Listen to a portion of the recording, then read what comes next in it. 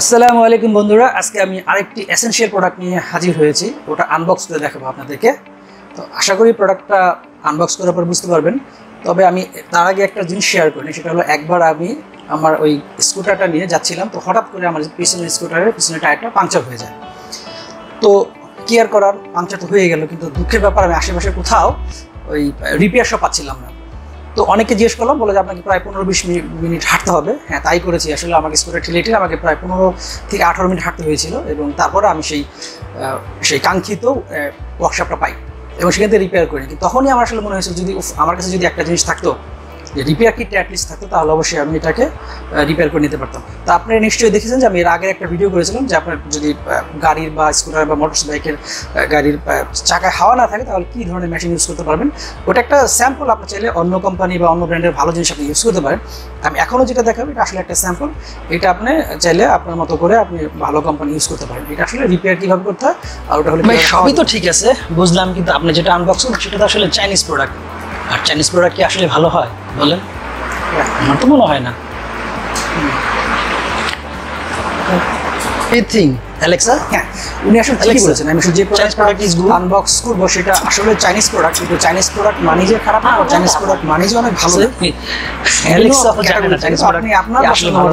এটা আসলে আমি কোনো কোম্পানিকে প্রমোট করতেছি না এটা আসলে আমি যেটা হাতের কাছে পেয়েছি হ্যান্ডি ছিল এটা আমি কিনে নিয়েছি আপনি আমার জন্য আপনি যে থেকে একটা ভালো ব্র্যান্ডের ভালো জিনিস কিনে নিতে পারেন তো চলুন আগে আনবক্সটা করে দেখি তারপরে কি আছে আমরা একটু আলোচনা পরে করে নিব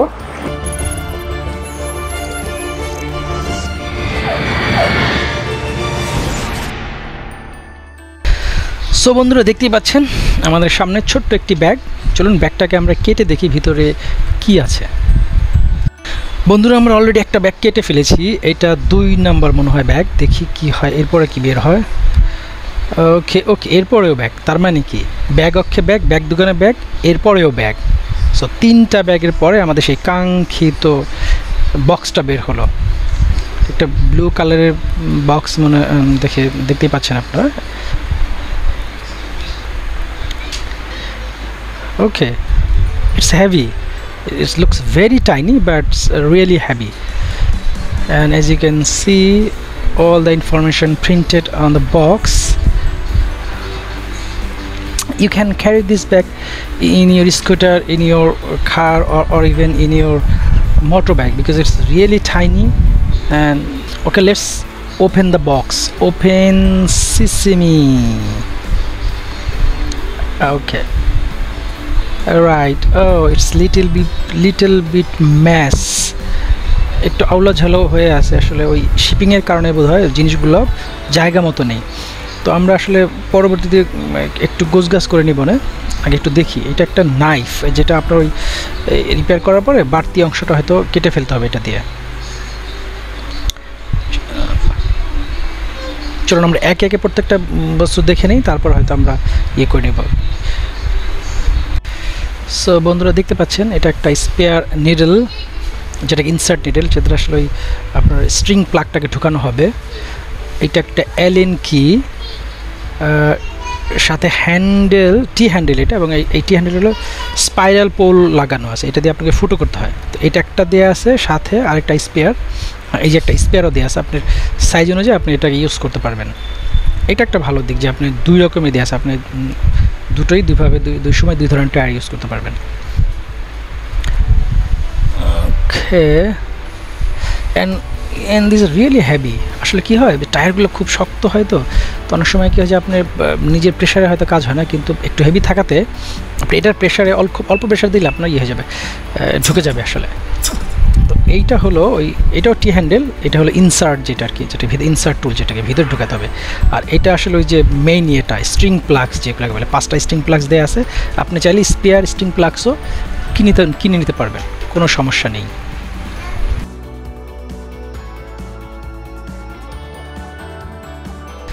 তো বন্ধুরা, চলুন একটু গুজ গাছ করে নিই। একটু গুজ গাছ করার পর দেখি আসলে বক্সটা কেমন লাগে। Let's organised and C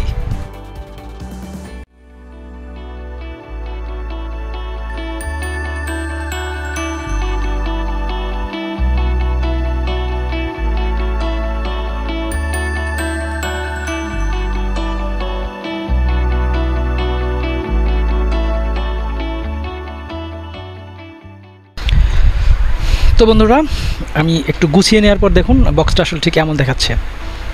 so আসলে গুছানোর পরে খুবই ভালো লাগতেছে। এইভাবেই থাকবে আসলে, যেহেতু এইভাবে থাকার কথা কিন্তু ওই বিদেশ থেকে আনা হয়েছে তো, এটা হয়তো এই জন্য ওই বিভিন্ন কারণে। একটু ডিসঅর্গানাইজ ছিল অর্গানাইজ করে নিলাম।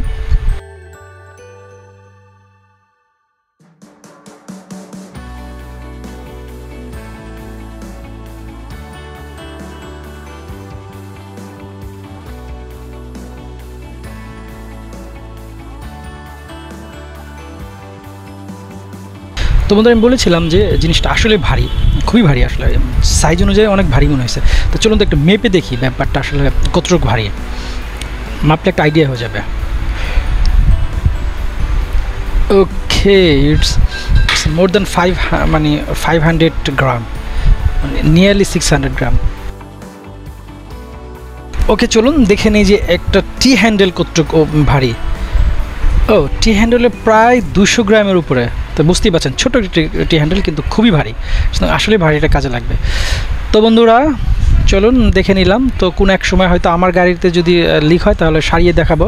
প্লিজ বরদোয়া করবেন না যেন লিক না হয়। তারপর আমি রেখে দিব আমার গাড়িতে ভবিষ্যতের জন্য। তো বন্ধুরা, ছোট্ট একটি অনুরোধ, আপনার গাড়িটি আপনি সাবধানে চালাবেন। সো নিজে নিরাপদ থাকবেন অন্যকেও নিরাপদ রাখবেন। ধন্যবাদ। আশা করি আমার নেক্সট ভিডিওগুলো দেখবেন।